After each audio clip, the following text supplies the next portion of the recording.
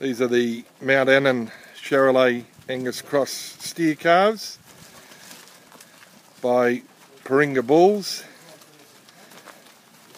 out of a top herd of Angus cows. 10 to 11 months and been weaned for two months.